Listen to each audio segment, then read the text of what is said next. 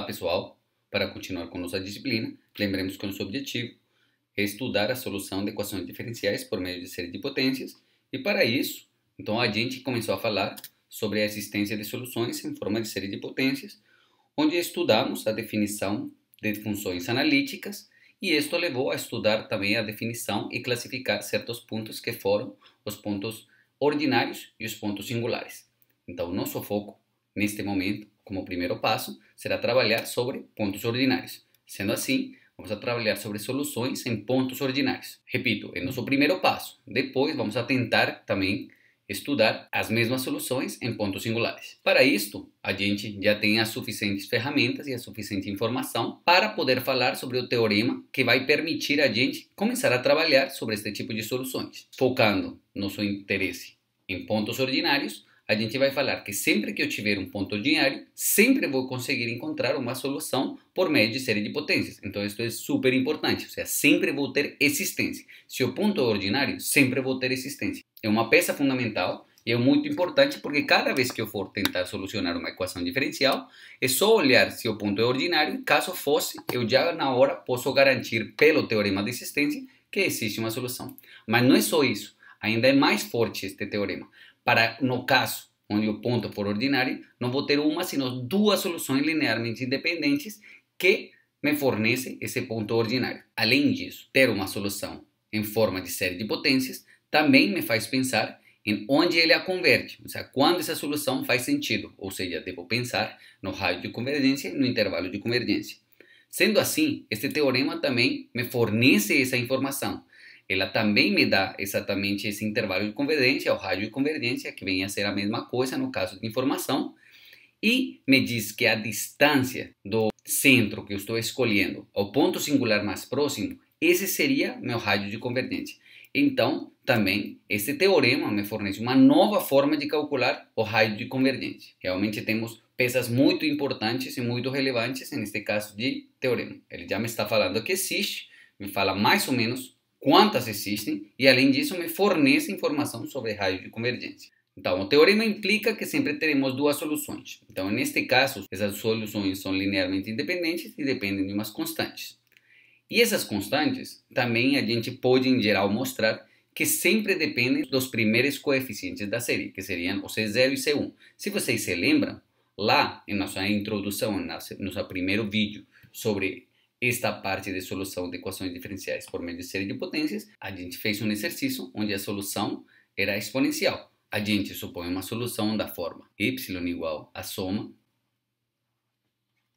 centrada em zero, e o que a gente obtém é que a solução era exatamente a constante z0, ou seja, o primeiro coeficiente, todos os coeficientes Cn dependiam também deste primeiro coeficiente, e além disso, a gente encontra que a solução é xn sobre n fatorial, onde em estudos anteriores a gente sabe que isto era a exponencial. Então, neste caso, além de ter duas soluções, a gente já sabe mais ou menos determinar essas duas constantes. De forma geral, essas duas constantes vão determinar também a constante que acompanha as duas soluções que eu encontro pelo teorema. Então, chegou o momento onde a gente vai testar com um exemplo exatamente tudo o que a gente fez, aprendeu e estudou nesta parte de solução de equações diferenciais por meio de série de potências. Então, para isso, antes a gente vai dar umas dicas. Para começar, a gente quer encontrar uma solução, mas uma peça fundamental, a primeira coisa que a gente tem que se perguntar é se essas soluções existem. Então, a gente já tem um teorema no qual a gente garante soluções para certas equações diferenciais. Já a gente acabou de ver que é sobre pontos ordinários, por enquanto. Então, olha aqui, se a gente reescrever esta equação para que ficasse um pouquinho mais certinha. Aqui a gente tem que isto é a2 de x, a1 de x e a 0 de x que é igual a 1. Ou por outro lado, a gente também tem, se a gente dividir tudo por a2, teríamos a segunda derivada de y mais x sobre x ao quadrado mais 1, y, linha, mais 1 sobre x ao quadrado mais 1, y, onde observemos que este que está aqui e este que está aqui vão ser p de x e q de x. Neste caso é mais fácil a gente observar que os, eh, tanto o numerador como o denominador, o que é a2, a1 e a0, não tem fatores comuns, que quer dizer que eles estão em uma expressão irredutível, você não consegue cancelar nem cortar ninguém. Então, automaticamente, para este caso, você sabe que somente aqueles onde A2 é igual a zero são os possíveis pontos singulares, mas a gente também sabe que, pelo menos no caso dos reais, x ao quadrado mais 1, este número sempre é maior ou igual a zero, este que está aqui é sempre maior ou igual a zero, mais 1, isso sempre é maior ou igual a zero.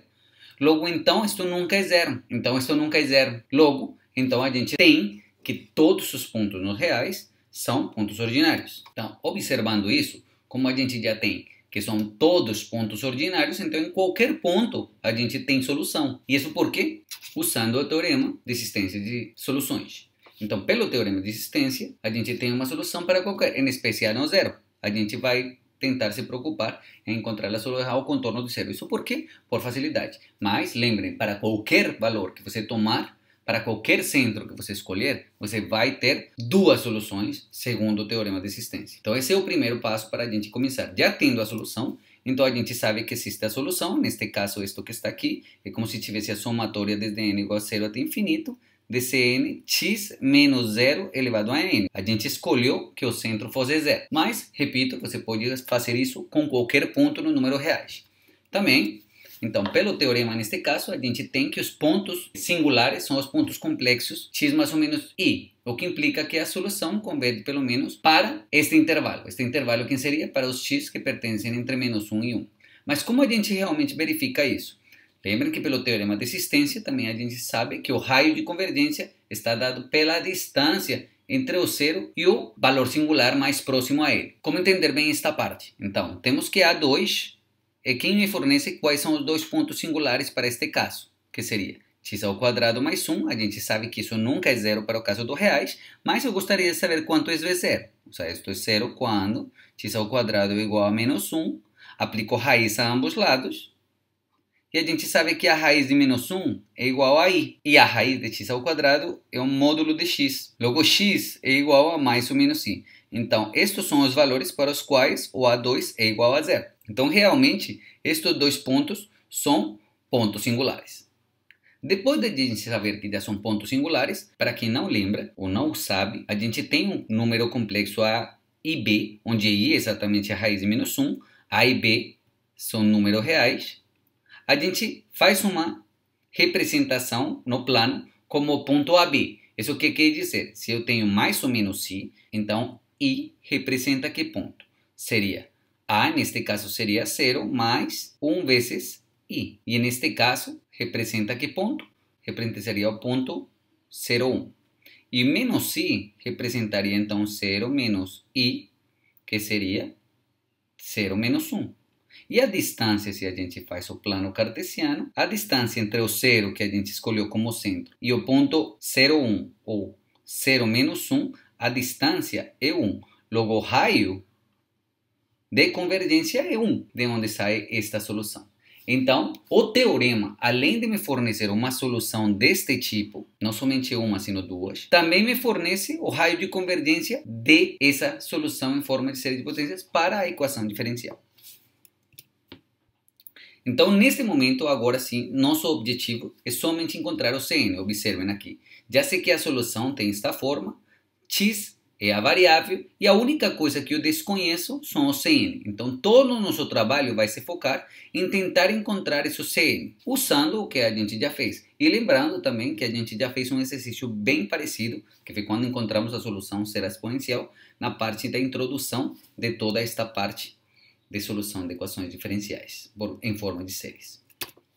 Então, lembrando a motivação, a solução deve satisfazer a equação diferencial, o que implica que devemos encontrar as duas primeiras derivadas. Se tivéssemos três derivadas, deveríamos derivar três vezes e por aí vai. Então, neste caso, esta é a equação diferencial e precisamos a segunda derivada e a primeira derivada. Então, procedemos a derivar, lembrando que se minha solução é exatamente a que temos lá atrás, de n igual a zero até infinito, de cn, xn, se a gente colocar ela por extenso, que vai ficar? Vai ficar z0 mais c1x mais c2x ao quadrado mais e por aí vai, onde quando eu derive, a constante C0 é zero.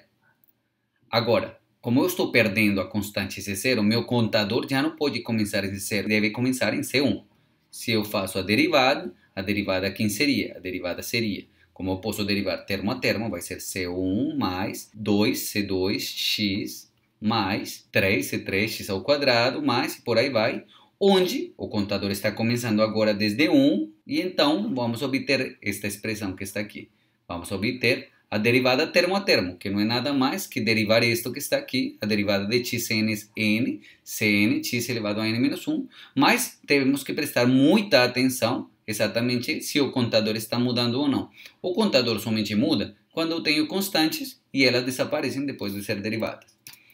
Depois, derivando novamente, procedemos a fazer a mesma coisa. Lembrem que o que acabamos de fazer é que ficava a constante C1 sozinha. Então, quando de novo derivemos, vamos a perder agora ela e vamos a começar nosso contador desde n igual a 2, sendo que a expressão que está ficando vai ser exatamente a mesma expressão que se fôssemos derivar esta que está aqui.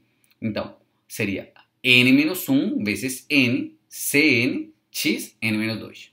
Então, já temos neste momento as duas derivadas, que são as únicas duas coisas que eu preciso e que desconhecia para poder substituir na equação diferencial original. Agora, com as derivadas e a solução que a gente tem, vamos somente a substituir e que vamos obter? Teríamos x ao quadrado mais 1, que está aqui, x ao quadrado mais 1, vezes a segunda derivada, que foi o que a gente obteve, x, que está aqui, x, vezes a primeira derivada, que seria a primeira derivada, que está aqui, que foi a que a gente achou, menos y, que é exatamente a solução que a gente tem desde o começo, a solução que a gente está supondo. Sem esquecer que nosso objetivo é tentar encontrar a CN. Se temos as constantes, os coeficientes da série, terminaríamos o exercício. Então, somente reescrevendo aqui, para a gente ter noção do que a gente tem na mão. Então, o que, o que vamos proceder a fazer aqui? Nosso objetivo agora é, se de algum jeito, tentar juntar todas as somatórias. Para quê? Para poder determinar mais ou menos uma relação entre os elementos que estão aparecendo. Então aqui tenho x ao quadrado mais 1, então vou multiplicar este e vou depois multiplicar 1 por este. Então daqui vão sair duas somatórias e também o que vamos fazer é tentar colocar para dentro estes x que estão aqui. Então observe, aqui teríamos x ao quadrado vezes esta somatória, mais 1 vezes a mesma somatória, mais x esta somatória, menos esta somatória. Então, na verdade, neste momento a gente tem quatro somatórias. Então, vamos abrir essas quatro somatórias e depois vamos tentar observar a partir de onde a gente pode começar a somar. Então, olha aqui. Temos x ao quadrado, temos aquela multiplicado por 1, que é exatamente essa que está aqui, olha aqui. Esta multiplicado por x e a solução que a gente tinha com menos. Então, agora, que é o que a gente quer? A gente quer identificar a partir de onde a gente pode começar a somar.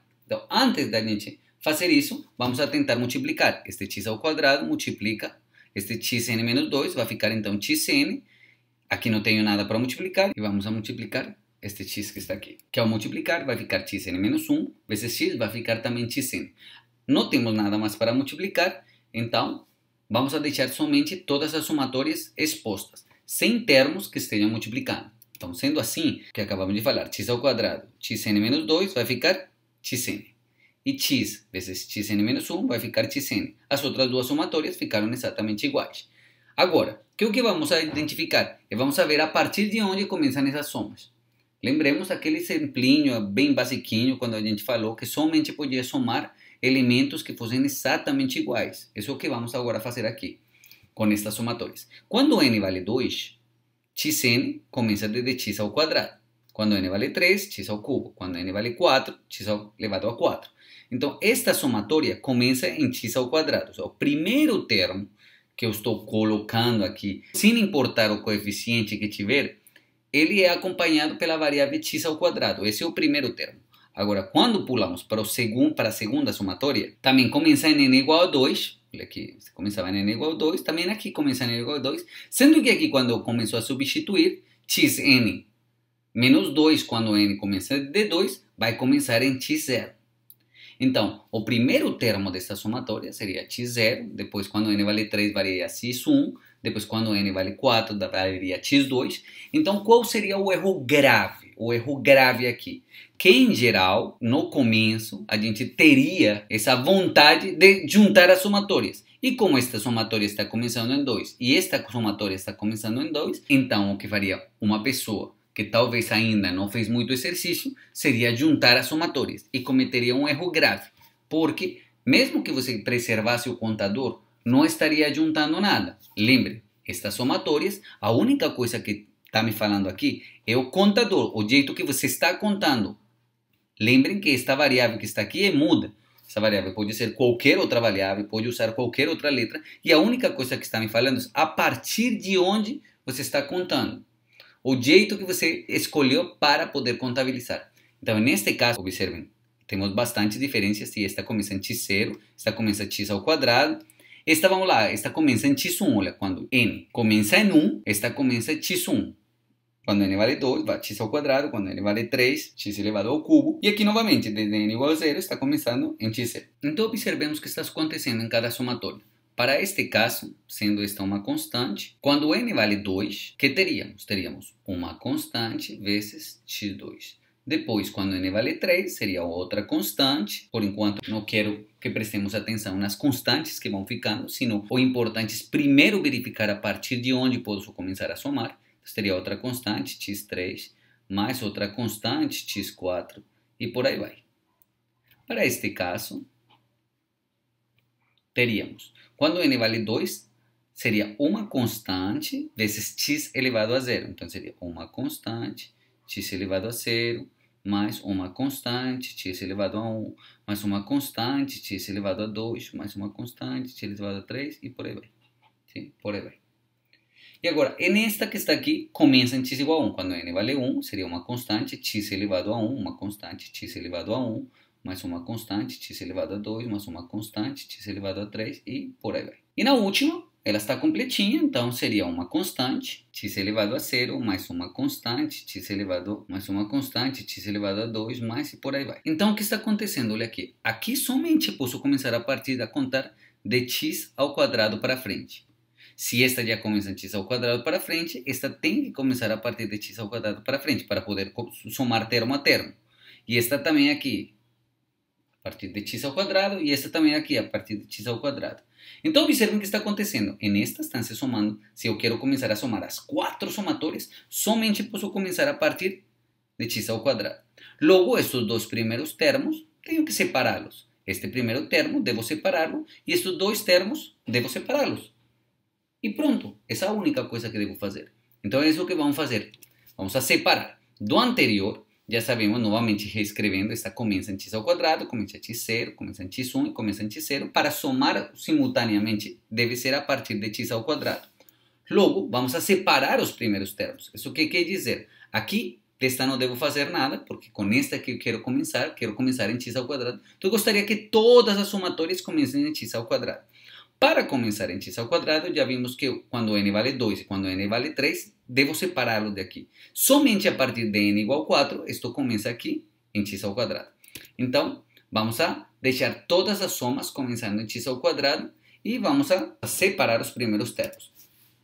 Sendo assim, olha aqui, esta primeira soma que está aqui ficou sem ser modificada, porque ela já começava x ao quadrado. Agora aqui, segundo o que a gente falou, agora sim vamos a observar bem a constante. Quando n vale 2, a gente separou quando n vale 2 e quando n vale 3 para este caso. Quando n vale 2, vai ficar 2 vezes 1, que seria 2, C2, que está aqui, vezes x elevado a 0, que está aqui. Agora, novamente, quando n vale 3, quando n vale 3, vai ficar 3 vezes 2, que seria 6, C3, que está aqui, x elevado a 3 menos 2, que seria x elevado a 1.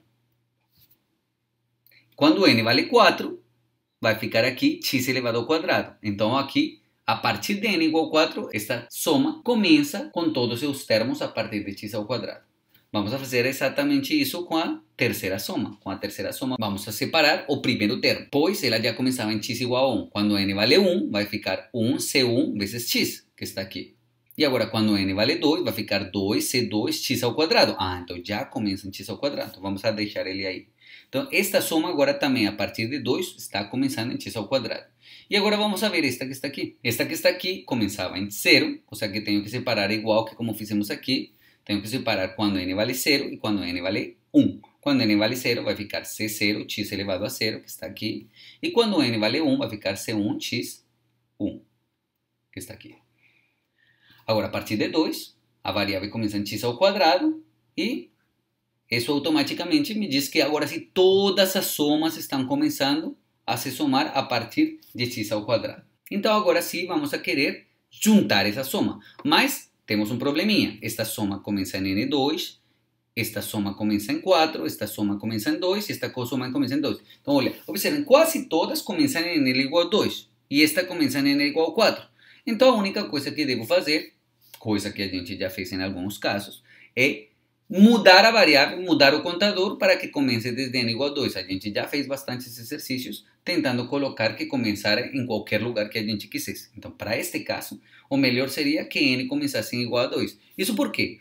Porque se eu faço que esta que está aqui comece em n igual a 2, já todas as outras também já estão em igual a 2. Então seria como o jeito mais fácil possível. Agora, mas também, é, ao gosto do freguês, você pode fazer que comece em qualquer variável que você quiser. Tipo, você poderia fazer que todas as somas comecem em n igual a zero. Mas, nesse caso, você teria que mudar o contador em quatro somatórios diferentes. Neste caso, somente vou mudar o contador em uma só. Então, já tenho organizado essas somas, vamos a deslocar essas somas para tentar unir toda a expressão na soma, que foi o que acabei de falar. Temos estas duas começando em x ao quadrado, todas começando em 2, então somente precisamos deslocar esta. Repito, isso se você começar a olhar o exercício do jeito mais fácil possível. Mas isso não implica que seja somente essa, que seja uma regrinha, uma receita de cozinha. Não. Você sempre vai poder escolher se você quer desse jeito ou se quer deslocar todas as somas ao número que você quiser. Só que este é o jeitinho mais fácil. Então, a gente quer que este contador comece em n igual a 2. Ou seja, eu quero um k que comece em igual a 2. Mas, lembrem, sempre como minha dica é, coloque k igual a n, mas como n começa em 4 e eu quero que k comece em 2, então 4 menos 2 é igual a 2. E daí para frente, esta seria minha substituição. De onde a gente tem que n seria igual a 1k mais 2. Tá bom? Então, esta seria a minha substituição. Seria n igual a k mais 2 ou k igual a n menos 2. Tendo isso em mente, tenho que k é igual a n menos 2, que foi o que acabamos de ver. Sim? E devo substituir aqui todo que tenha n por k. E esta expressão que está aqui não é nada mais da soma dos terminhos que a gente já tinha feito lá em cima. Se k é igual a n menos 2, n é igual a k mais 2. Então, este que está aqui vai ficar k mais 2, n menos 1 vai ficar k mais 1, c, k mais 2, x elevado a k. Então, somente reescrevo aqui os termos que a gente está falando, K mais 2, K mais 1, CK mais 2 e CSK, que foi o que acabamos de falar. E agora sim, todas as somas estão começando em 2. E lembrem que não importa se aqui está K ou N, eu posso deixar ele então, como a variável muda, podemos deixar todas as variáveis com N ou com K. Eu vou preservar a N. Então, vamos a deixar todas em uma única somatória, começando em N. Então, tenho a expressão que está por fora, aquela que eu não conseguia somar, não é? E agora aqui toda a expressão ficou desde n igual a 2, a soma desde n igual a 2, e só é anotar tudo o que sobrou, olha aqui, aqui seria n, n menos 1, n, n menos 1, cn, todas têm xn, lembrem que para este caso eu mudei k por n, porque uma variável muda, então como todas têm xn, eu posso colocar ele em evidência, e aqui vou colocar a primeira constante, aqui seria NCN, NCN e CN. Tá? Então, o que acabamos de encontrar? Acabamos de encontrar uma variável, vamos encontrar uma somatória que tem os infinitos coeficientes vezes a variável elevada a n e exatamente igual a zero. A gente já trabalhou isso. Como estou falando que essa soma, sem importar a variável, sempre dá zero, então, obrigatoriamente, para que todo isto dê zero, é porque todo este conjunto que está aqui deve ser igual a zero. Junto com todo isto que está aqui, também deve ser igual a zero. Tá? Se estas duas coisas ao mesmo tempo são iguais a zero, então a gente consegue encontrar os valores do seno. Falando e repetindo o que acabei de falar, essa somatória deve ser identicamente zero, implica que todos os coeficientes devem ser zero, mas não os coeficientes n, sim os coeficientes da série, que nesse caso é aquela expressão grandona. Vamos reescrever rapidamente a parte que ficou fora da somatória, que seria 2c2 menos c0 mais 6c3 x. Esta parte deve ser igual a zero fora de toda a somatória. Então, olha aqui, é como se todo isso estivesse multiplicado por x0 e isso está multiplicado por x. Então daqui já tenho umas condições. Tenho que isto que está aqui deve ser igual a zero e também tenho que isto que está aqui é igual a zero. A primeira condição seria 2c2 menos c0 igual a zero, de onde podemos concluir que c2 é igual a c0 sobre 2. A segunda condição é que 6c3 é igual a zero, de onde a gente conclui que c3 é igual a zero. Então olha que já estamos encontrando valorzinho, já sabemos que c0 sobre 2 é igual a c2, C3 é igual a zero. E também temos esta relação. Toda somatória vezes xn deveria ser igual a zero. Então, todo esse coeficiente para qualquer n a partir de n igual a 2. Lembrem que é nossa somatória, então isso é para n maior ou igual a 2. Pense que isso sempre deve acontecer. Onde obtemos que se essa expressão que estamos falando, esta que está aqui, é igual a zero, então devemos somente encontrar uma relação entre essas coeficientes que estão aparecendo. Observem aqui, este tem CN, CN e CN. Então, posso colocar em evidência essas três expressões, de onde obteríamos CN, fator de tudo isto que está aqui. Agora, multiplicando, olha aqui, isto é N menos 1, isto que está aqui também é N menos 1. Posso colocar em evidência esse N menos 1, vai ficar N mais 1. Ou seja, que vai ficar? Vai ficar N mais 1, N menos 1, CN, e este lado que está aqui. Então, se eu quero criar uma relação entre estes dois, posso colocar todo isto que está aqui e passo para o outro lado do zero, que vai ficar menos n mais 1, n menos 1 vezes cn com cn mais 2. Então, observem, estou já encontrando aqui uma relação entre cn e cn mais 2. Se todo isto que está aqui está multiplicando, passa a dividir. Então, eu vou obter isto que está aqui, com esse sinal negativo, posso cortar esse n mais 1 e vai ficar essa expressão. Observe que aqui tenho menos n menos 1. Se eu mudo o sinal, vai ficar 1 menos n sobre n mais 2, cn. Então, o que acabamos de obter? Obtemos que C2 tem uma relação com Cn. 1 menos Cn, n mais 2 sobre Cn. Que isso é muito importante. Então, acabamos de criar uma relação. Quando n temos este valor que está aqui, temos para C3 este valor que está aqui, e a partir dos termos Cn mais 2 para n maior ou igual a 2, já tenho qual é esse valor. Observe que para o primeiro termo, para o primeiro termo, C4 depende de quem? De C2. Mas o C2 já tenho aqui. Então, pelo que está aparecendo, já temos todas as ferramentas para tentar encontrar um padrão. Então, vamos observar que o que a gente tem aqui. Temos que C2 é igual a C0 sobre 2, C3 é igual a 0 e Cn mais 2 é igual a 1 menos Cn sobre N mais 2 Cn para N maior ou igual a 2. Então aqui é só começar a brincar. Vamos a tentar começar a brincar com esta expressão para poder encontrar um padrão, se possível. Logo, com isto, a gente pode afirmar que temos uma fórmula de recorrência e por iteração podemos tentar gerar isso CN. Novamente, lembrem o que a gente fez na parte de Taylor e o que fizemos também em aquele exercício da motivação a gente sabe multiplicar, mas o melhor é não multiplicar. Vamos a tentar deixar todo notadinho para poder encontrar um padrão. Se eu tenho que esta expressão é minha fórmula de recorrência, para n igual a 2, vou ter que C4 é menos C2 sobre 4, que isso é igual a menos C, Z0 sobre 2 vezes 4. Lembrem que C2 era exatamente igual a C0 sobre 2. Agora, para n igual a 3, vou ter que C5 é igual a menos 2C3 sobre 5, que isso é igual a zero. Por quê? Porque C3 é igual a zero. Para n igual a 4, teríamos que C6, 4 mais 2 é 6. Vamos a substituir aqui, vai ficar 1 menos 4 sobre 4 mais 2, que isso seria 6. 3 sobre 6 não vamos a simplificar. Você poderia simplificar acá, não, isso dá 1 sobre 2. Não, lembre, nem simplificar, nem multiplicar. Então aqui teríamos que estudaria C4, quem é? C4 era menos C0, 2 vezes 4. Então vai ficar menos C0, que seria, com este menos, vai ficar positivo aqui, sobre 2 vezes 4 vezes 6. Para n igual a 5, vai ficar C7, depende de C5, mas C5 já a gente olhou que era 0, logo também aqui vai dar 0. Para n igual a 6, vai ficar C8, vamos a substituir também aqui um menos 6, 6 mais 2, somamos, e daqui para frente nós simplificamos ao multiplicar, que vamos obter, vamos obter exatamente a expressão anterior que a gente tinha, que era esta. Substituímos aqui e vai ficar 3 vezes menos 5, Z0, 2, 4, 6, 8. Ah, então aqui já está aparecendo um padrãozinho aqui, ó. Então, com estes primeiros cálculos, que podemos concluir? Podemos concluir que os termos par, ímpar estão indo para zero e os termos pares estão se preservando. Também, por outro lado, cada vez que o pulo entre cada termo par está alternando o sinal. Então, vamos ver. todo um número par pode ser representado por um número 2n. Então, todos os coeficientes pares estão ficando, os ímpares estão dando zero.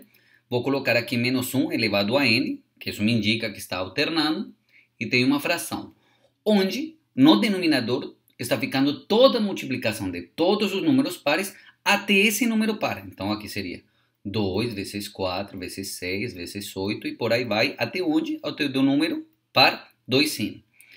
Aqui, vamos pensar para o primeiro terminho, tipo para n igual a 4, que é quando n vale 2. Quando n vale 2, vai ficar C4 e deve ficar negativo. Então, como deve ficar negativo, quando n vale 2, menos 1 elevado ao quadrado dá positivo. Então, melhor colocar aqui mais 1. Mas pode colocar menos 1, pode colocar mais 3. Lembrem que isso é somente para poder definir que está alternando e qual seria o sinal daí para frente, ou seja, para poder ordenar o sinal. Quem está indo com positivo e quem está indo com negativo. Então, neste caso, já temos a parte do denominador, temos a parte do numerador, e agora vamos ver, quando n vale 2, está ficando 4, já está ficando então o número 1, já vamos esquecer agora o sinal e vamos esquecer agora o denominador. Está ficando 1 quando n vale 3, que daria, daria C6, vai ficar o número 3. Quando n vale 4, que ficaria n8, está ficando 3 vezes 5. Então a gente está observando também que no numerador estão ficando todos os termos ímpar. Até onde? Já não é até o anterior, se não vamos ver. Então vai ficar o número 1 vezes 3 vezes 5. Até onde? Vai ser um número ímpar. Seria 2n menos 1. Vamos a colocar aqui. Esse seria um número ímpar. Agora vamos ver se este número ímpar funciona. Quando n vale 2, deve ficar 2 vezes 2 menos 1, 3. Mas aqui não está ficando 3, está ficando o número 1.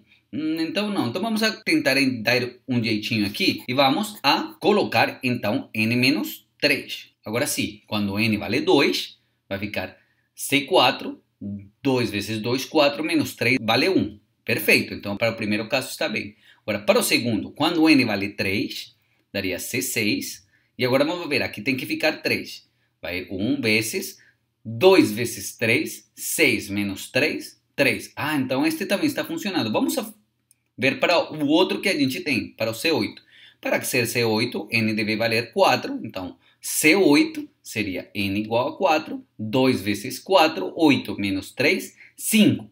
Ah, então sim, realmente estaria 1 vezes 3 vezes até 5. Muito bem, então realmente esta é a formulinha que me determina o termo CN2. Agora também uma coisa para ajudar vocês também, percebem que aqui na parte do denominador estão ficando todos os números pares. Então aqui os números pares, pensemos aqui, o n fatorial é igual a 1 vezes 2 vezes 3 até n. 2 elevado a n é 2 vezes 2 vezes 2 n vezes. E se eu multiplico o fatorial por 2 vezes n, como se multiplicasse 1 vezes 2, 2. 2 vezes 2, 4. 3 vezes 2, 6. E aí até 2n. Então observem que a multiplicação de todos os números pares até certo número par é como se eu multiplicasse n fatorial por 2 elevado a n. Mas claro, de uma vez é bom também a gente fazer o esclarecimento. Se você deixar assim, já pode deixar assim, já fica também aí. Não precisa fazer esta jogadinha. Eu estou explicando esta jogadinha para que, caso aparecer em algum outro exercício que pode aparecer, você já sabe que tem um jeitinho mais rápido e simples de a gente notar. Então, sendo assim, a gente conclui que esse termo C2N é exatamente esta expressão, onde isto que está aqui me implica a multiplicação de todos os números pares até o termo 2n, e aqui iria uma, um termo alternando até 2n menos 3, vezes C0. Então, todas as constantes daí para frente dependem desse valorzinho C0. Se vocês param para observar, temos já todas as constantes agora, menos uma, que seria o C1. A gente até agora não falou do C1. C2 começou a depender do C0, mas a única que não apareceu em lugar nenhum é o C1. Então, já vamos saber que é o que está acontecendo com essa constante. Tendo isto que está aqui, já temos sim uma solução explícita. Por quê? Porque estamos encontrando todos os coeficientes da série, sem pensar ainda no C1. Então, lembremos, temos uma solução desta forma, segundo o teorema de existência, temos toda esta expansão, e sendo que em toda esta expansão queria encontrar estes coeficientes. A gente realmente agora encontramos todos os coeficientes, sendo que todos os números pares, todos os números pares, dependem do C0, certo? Se eu tenho aqui, todos estes números pares dependem do C0, dependendo do C0, todos os números ímpar, a partir de C3, valem zero, e a única coisa que está ficando aqui seria este termo que está aqui. Então, todo mundo depende desse zero, os outros valem zero, e este que está aqui é o único que está dependendo de C1. Então, o que teremos? Teremos, então, que todas as soluções dependem somente e unicamente de C0 e C1. Ah, e se você para para pensar, o teorema de existência me fornece que sempre que eu tenha uma solução em forma de séries pelo ponto ordinário, sempre vou ter duas soluções linearmente independentes, e é isso que estamos obtendo. Temos esta vermelha que está aqui, que depende de C0, e temos esta, esta primeira que depende de C1. Então temos duas soluções, sendo uma dependendo da constante C1 e a constante C0, dessa solução que a gente já tinha a partir do teorema de existência. Então, que podemos concluir? Que essas soluções são: a primeira solução é aquela simples, que depende do C1, e a segunda solução é aquela que a gente acabou de encontrar. Encontramos C0 está sozinha, C2 era C0 sobre 2, e a partir de n igual a 2, a gente que tem, tem esta expressão que foi que a gente encontrou usando a fórmula recursiva. Então, a gente acabou de encontrar uma solução de uma equação diferencial que a princípio a gente não poderia encontrar por outros métodos. Então, realmente, esse é o poder desta parte de solução de equações diferenciais. Você pode pensar, nossa, mas a solução está ficando muito grande. Esta solução y está ficando grande, está dependendo de uma somatória. Poderia pensar que realmente está um pouco difícil essa solução. Mas na verdade é que não. É uma solução que depende de somas e multiplicações. E por outro lado, ela não pode, em geral, ficar bonita, porque se ela ficasse bonita, igual lá em cálculo 2, ou da, dos métodos que a gente está acostumado, então realmente faria por esses métodos. Então, este método que a gente está aprendendo agora é tentar encontrar soluções de equações diferenciais que antes eu não conseguia encontrar, usando todas as ferramentas e teoria e estudo que a gente tem sobre séries, sobre somatórias. Então, realmente, esta é uma ferramenta sensacional. Estamos encontrando soluções e estamos usando aquilo que a gente está aprendendo para atacar problemas que a gente ainda não conseguia solucionar. Então, pessoal, bons estudos.